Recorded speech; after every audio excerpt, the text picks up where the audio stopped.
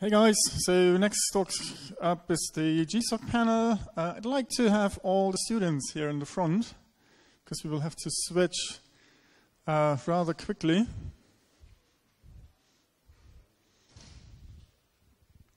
And whoever is standing in uh, for his student, um, Michael, I think, and anybody else? Uh, if you could come here, so we uh, have less friction.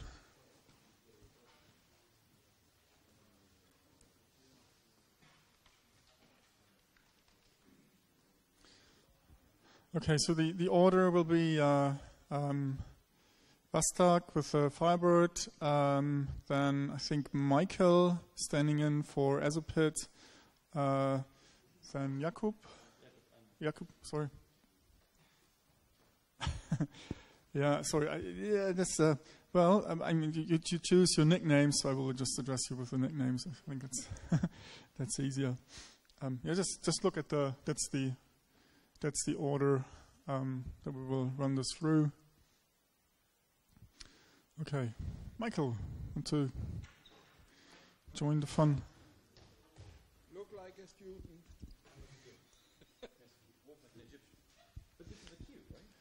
Yeah. I think you are number three.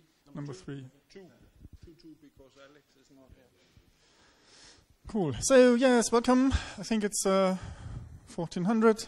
Uh, this is the GSOC uh, 2016 panel session where we have all, or almost all students uh, on stage to present their successful GSOC projects. Thanks so much, Google, uh, for sponsoring. Thanks a lot to all the mentors for uh, investing time and energy um, and uh, sometimes sleep to, uh, to keep this going. Uh, congrats to all the students uh, for making GSOC. Um, wonderful. So, um, yeah, with that, I'd like to of, oh, right, so uh, you have exactly five minutes. And after six minutes, we will cut you off hard.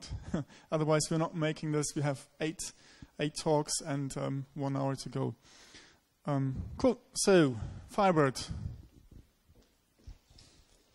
Uh, hi. I have a slide, maybe. Um, yeah, thank you. Uh, so, um, yeah, I'm Tamás Bunth, and uh, I had a, a mm, Summer of Code project with the title Finish Firebird Integration. Um, Firebird is an open source uh, database management system uh, written in C++, and um, uh, currently the uh, um, the database system which is used to uh, which uh, which LibreOffice uses as an embedded database at default is HSQLDB uh, which is a bit unfortunate because it's uh, based on Java. So the main uh, main purpose is to was to bring Firebird the Firebird driver to a state that it can be suitable for the, that, uh, as a, a, default embedded uh, database.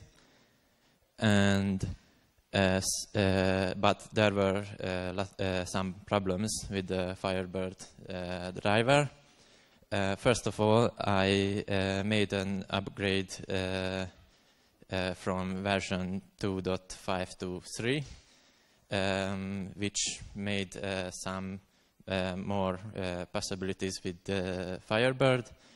For example, I could fix the next issue, which was that um, um, the Firebird databases are uh, dependent dependent uh, of the uh, from the um, uh, platform's endianness. So if you uh, made an embedded database uh, in a big endian platform, then move the o o ODB file to a little endian one, then it failed to open. Um, and uh, uh, uh, there were uh, Firebird related bugs. Uh, there are uh, still some, but uh, I solved some. Uh, for example, uh, I uh, implemented the auto increment uh, feature, and uh, there are uh, some more things to do. Uh, for example, to switch to the C++ API, which is available uh, from Firebird uh, 3. Um, I'd like to do that in the future. And uh, there is a problem that uh, the, it's not implemented that the Firebird should work with remote databases. So that's another thing to do. And um, the new Firebird uh, cannot open the uh, old uh, Firebird databases. The official way to solve this is to uh, um, uh, uh, backup it with the old data uh, Firebird, and then um, uh, it it can be restored by the new one. Uh, I, I'd uh, like to do an external tool uh, for that, maybe a, a web service and uh, um, I'd like to thank for the community because it was uh, really helpful and my mentor Lionel and yeah thanks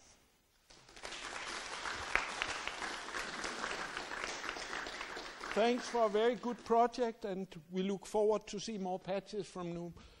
The next one is Michael. He's not the GSOC student, he's representing. If only youth is wasted on the young, they say.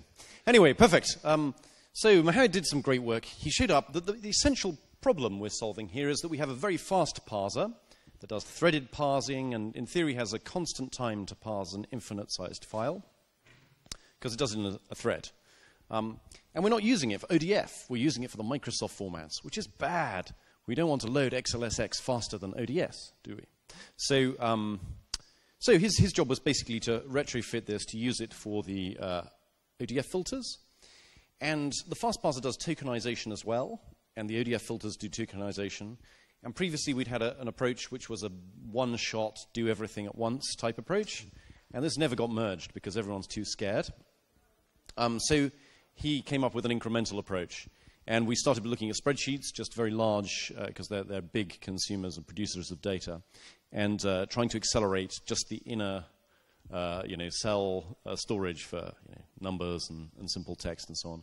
Um, and he's done great work. So he reworked, um, he reworked the fast parser to add the ability to emulate the old API on top of the fast parser. So we, we parse, we tokenize, we detokenize, and we emit it again.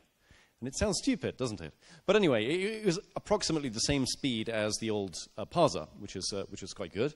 Um, uh, slightly slower, but well, what, what do you get? And currently, we're he's he's punching through that to avoid uh, detokenizing and retokenizing inside the ODF uh, parser, uh, just for a few of those those things, and it's looking pretty good. So I'm happy.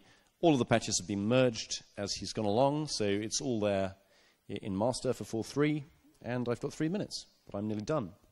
So it's good. I'm, I'm, I'm, I'm happy. He's, and he's continuing to work and fix and improve it. So what a guy. Thanks. Thanks, Mohammed.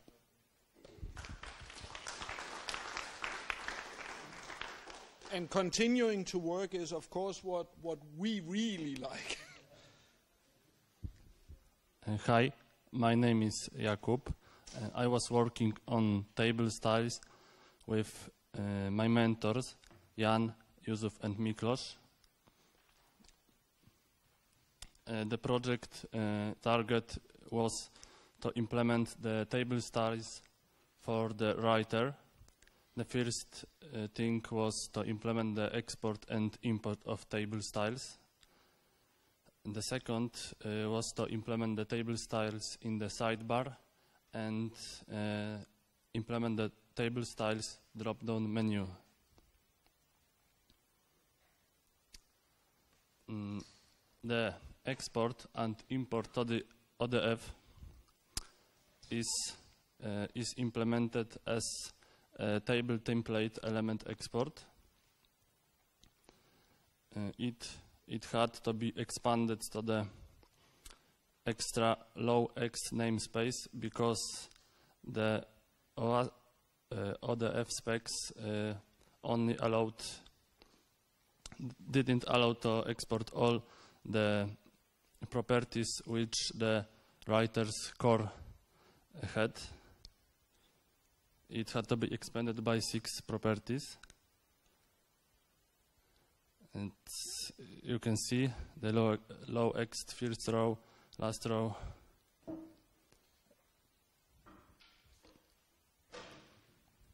And the sidebar. The sidebar is implemented, but it's not full finished because you cannot. I will talk what it allows already. It allows to uh, browse the styles and filter uh, the applied styles, apply a style to a table, update a style by example, and uh, hide a style. Uh, when the cursor is in table, the style gets highlighted in the sidebar. As you can see on the right is the styles and formatting sidebar, uh, table styles tab. And uh, it's not finished, uh, it's missing the table style and the dialog to edit properties of the table style. Uh, because it now crashes uh, crash when you try to edit the properties. And the drop down menu is uh, not yet finished but I plan to do this. Uh, so that was my project. Uh, I plan to work more on this and finish it. Thank you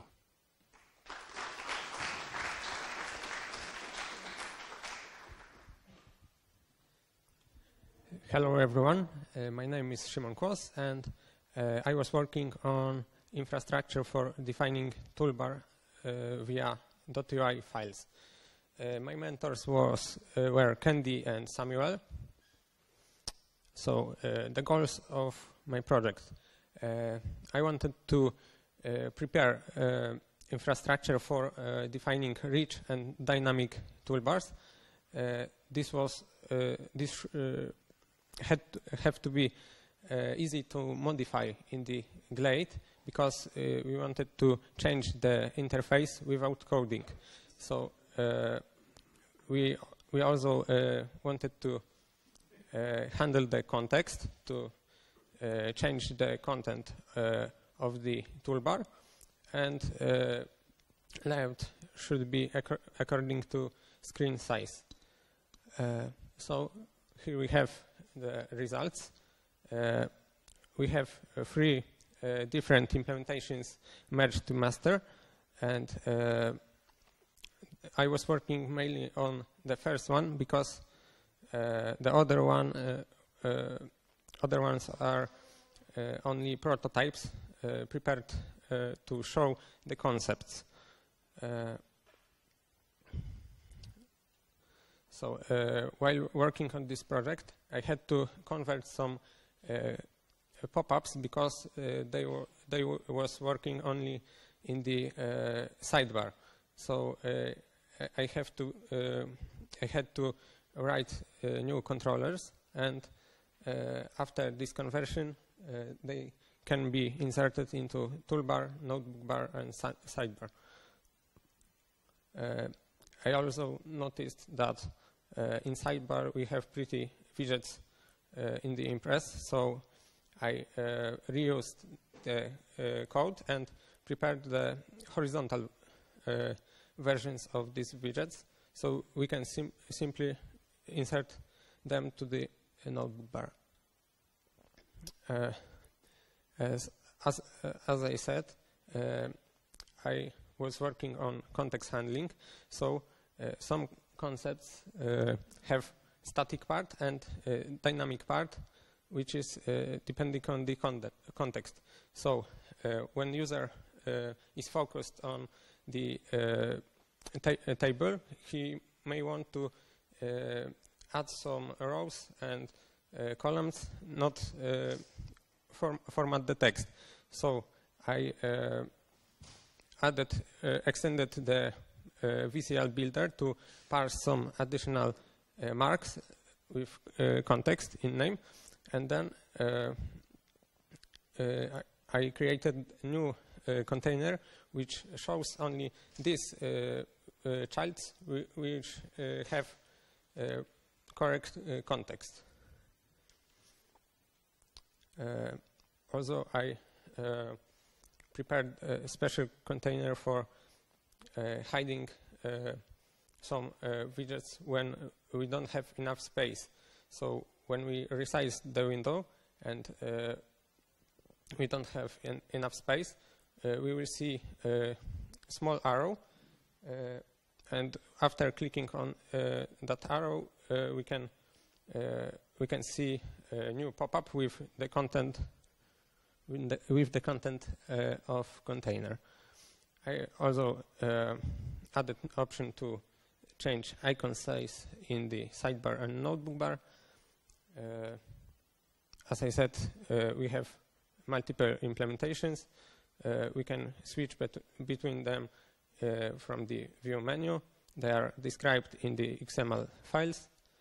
Uh, also, we have switched to turn on the notebook bar and other, other uh, modes like single toolbar mode or, or sidebar mode. They are also described in the XML files. And what, what next? Uh, notebook bar still needs some uh, work. Uh, we want to uh, make uh, notebook bar uh, possible to cu- uh, customize by user. Uh, Jay Philips proposed uh, to describe this uh, this uh, widget in XML files. We also want to uh, make them uh, possibility to for extension developers to add content to notebook bar, and we need to make better accessibility for keyboard users. Thank you very much.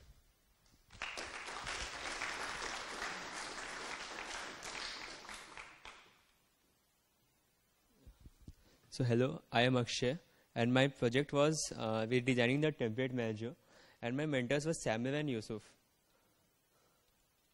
Uh, so this was the proposed user interface uh, for my design idea uh, for my project, and uh, the you can see the how it got implemented and its final version that it's in the master now.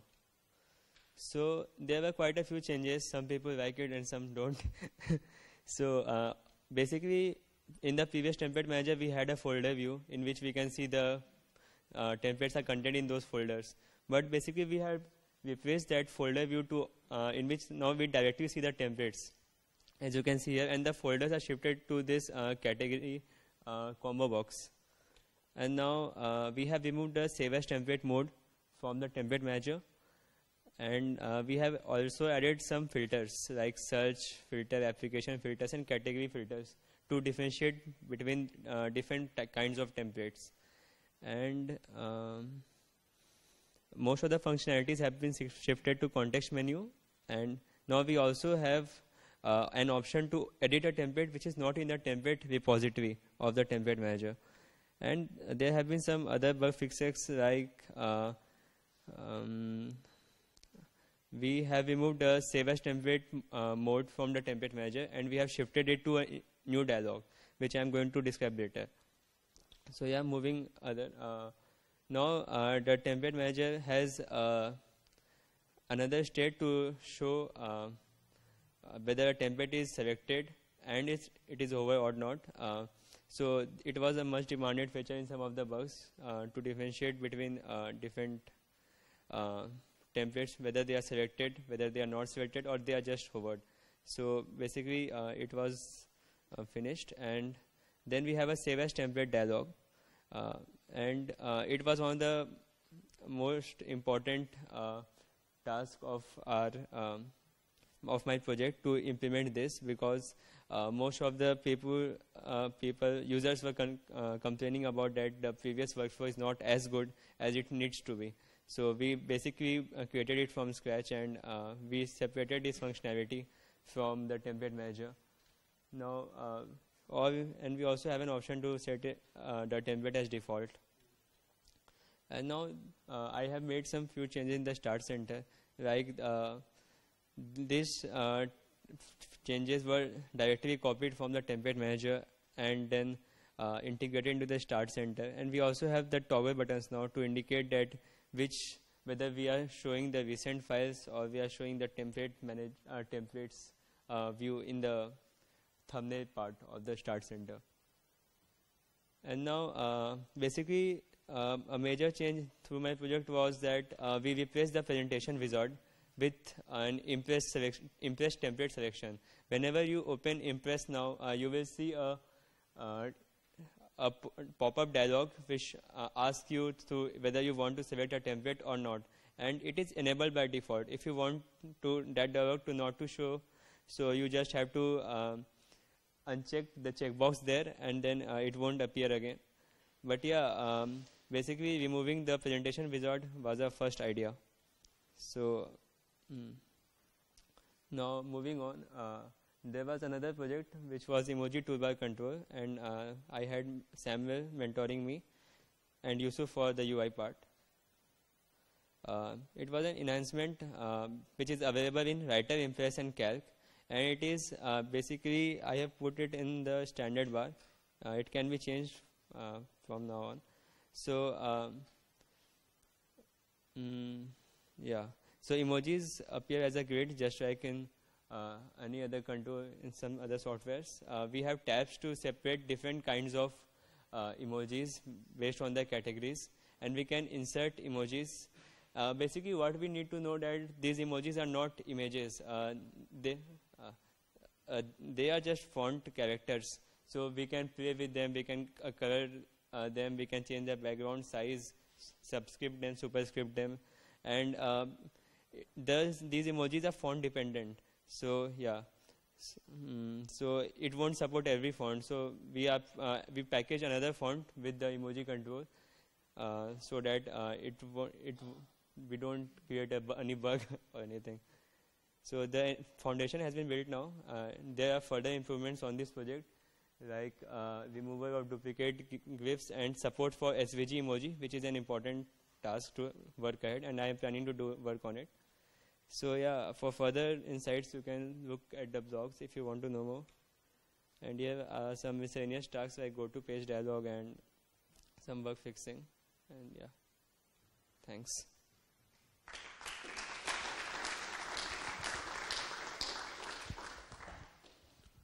Shall I begin? Yes, yes. Good afternoon. My name is Jaskaran. Uh, I arsenic JVSG, and uh, I had been mentored by my, my uh, mentor uh, Markus Mohrhard for the project import cell styles into calc using Orcus. So uh, two things: cell styles and Orcus. I'll explain them both. Uh, cell styles, um, a set of attributes. Like here, you see the blue background with a wavy underline and um, red underline as well and the dollar sign, comma, and the dot, these all are uh, attributes, and together they are a style. You combine them, in, them into a style. The second thing is Orcus. It is a standalone filter library written in C++, multi-threaded, started out as a fun project of Kohei Yoshida, now has around four or five active contributors and hosted on GitLab. So you can check it out. Uh, features. Uh, it provides some import filters like ODS, OpenOffice XML, XLS, plain text, generic XML, Gnumeric XML, provide some parsers like CSV, YAML, XML, JSON, CSS. So almost all major filters and uh, parsers are provided. Um, so here's the interesting part. Working of cell style import. So what we do is, uh, whenever you open a new file, or uh, ODS file, and uh, every um, the code goes through all of the things and then the control moves to doc shell. Here we pass, here we use the API of Orcus and we pass the um, address of the file we want to import and we pass a, we create a handle, handle class and, the, and we pass the uh, address of that handle class to Orcus uh, so that we can later receive callbacks. Um, then it moves uh, to Orcus and um, using the low level parser, uh, imports the data from XML file produces callbacks. And here we have the Orcus interface, which we have uh, implemented in this project. Um, and this Orcus interface actually creates the styles, and then which you can uh, obviously see on the screen. Um, so you might be thinking why we use Orcus, why not the um, the things that already are there in the LibreOffice? Because uh, Uno is slow with all the things like uh, broadcast and everything. Um, the code of Uno is not uh, reusable, uh, so Orcus, is, uh, Orcus provides an API so that we can use it. Um, Orcus is time and memory efficient. It uses some nice data structures. Um, the temporary string allocation is very low, so it's memory efficient. It's time efficient as well. So that's the main thing. What's in store for you? Of course, less clicks is less annoyance. So you just need to, uh, the styles would be listed in a drop down box. You can just click on them um, and do your work.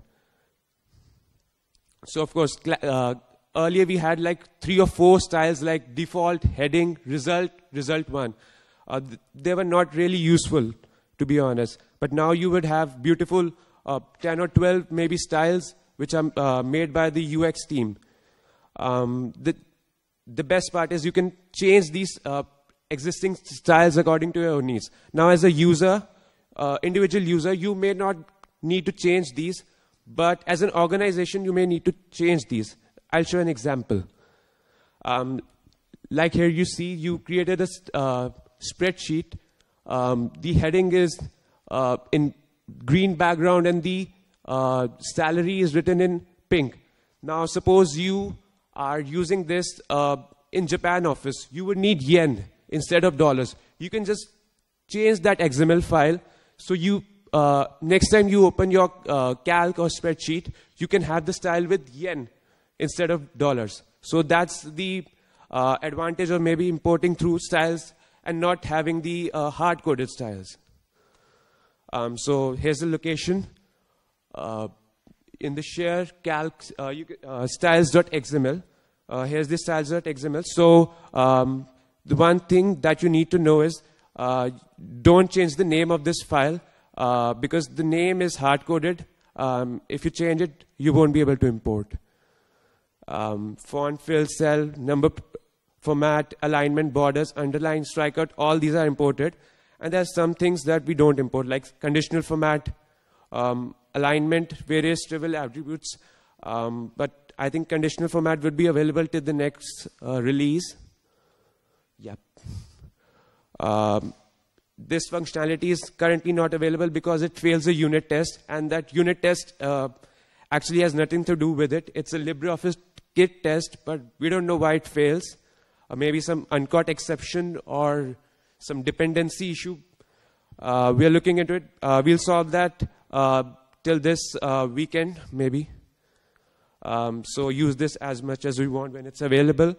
Um, report bugs to us on Bugzilla and uh, and you can also tell us what styles you want so that we can uh, import those attributes uh, next time when we release the Orcus. And of course, uh, you find a bug and you fix it yourself, nothing better than that. So contribute to Calc and Orcus. Thank you.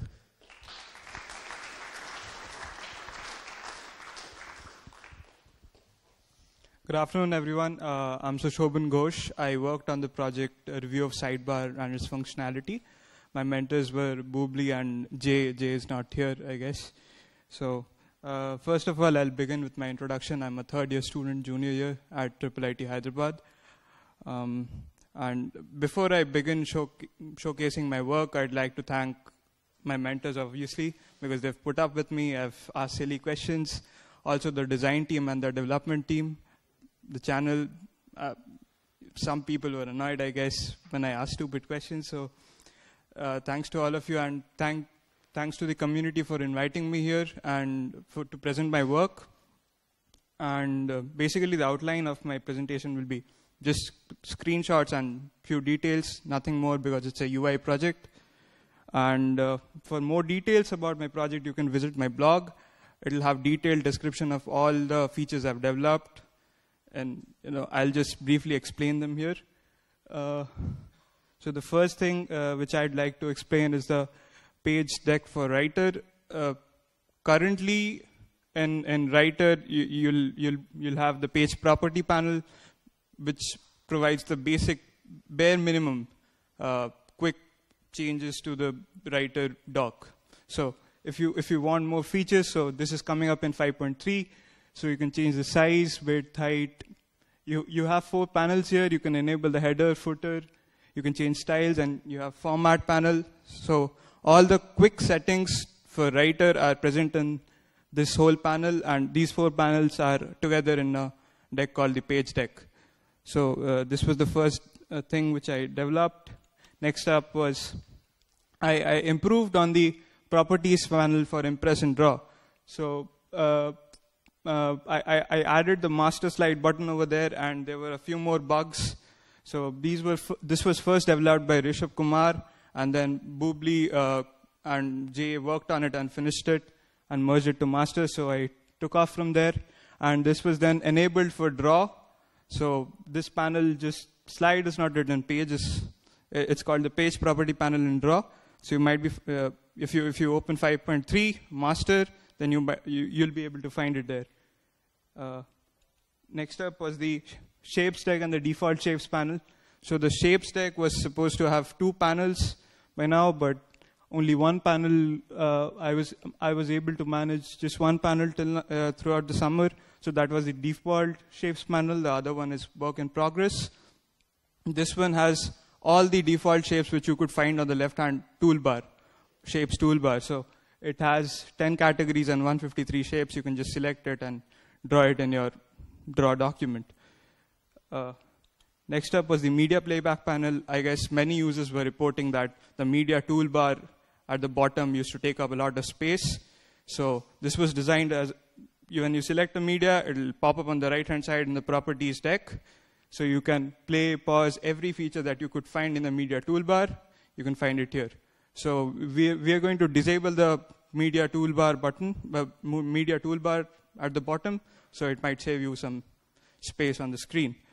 Uh, at the end, uh, I, I, I, made two more adjustments. I added the import uh, button to bitmap on the area fill uh, panel, and there was a show preview checkbox. So this was important because one had to restart LibreOffice to check and uncheck uh, the previews on the right-hand side in the styles and formatting sidebar. So uh, this was all, uh, yes. So uh, apart from that, like from now on, I, am currently working on the other QA issues. Jay prepared a doc for me. So I'm fixing that. And all, most of these panels are arriving in 5.3. Um, yeah, use these panels, I guess, and report bugs and perhaps contribute to sidebar development. That's all, I guess. Thank you.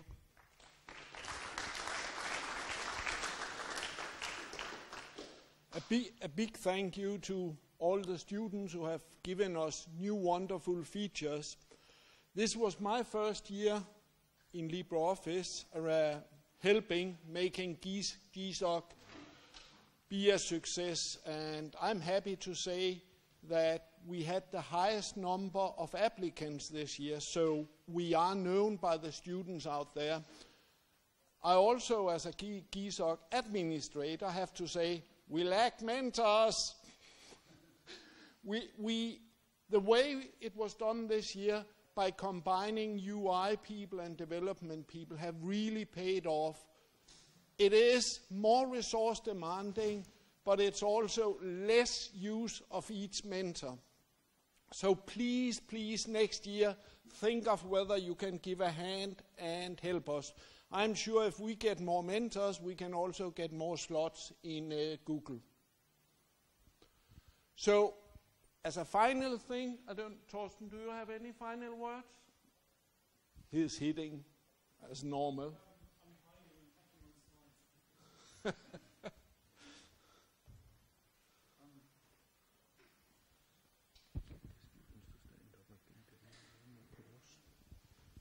So um, yeah, nothing really to add. So uh, thanks Jan and uh, also Moggi for uh, co-running the um, the program. Uh, there's always quite some admin work in the background, and I'm happy that um, I could share, could have shared that load. Um, so I think we have some time. I don't know if there's questions still from, from the audience or I don't know feedback in any of any kind.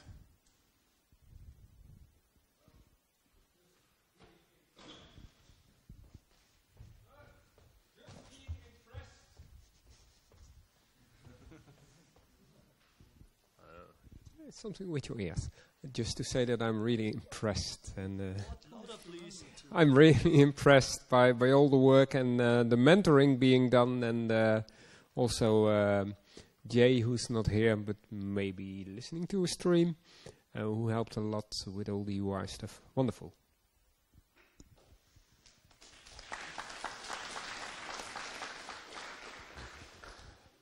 Anybody else? Okay, so end of this year GSOC means start of next year GSOC, um, as mentioned. So keep the ideas coming. Um, there's no further questions, I'd love to have all students on stage again so that you can get your applause that you deserve.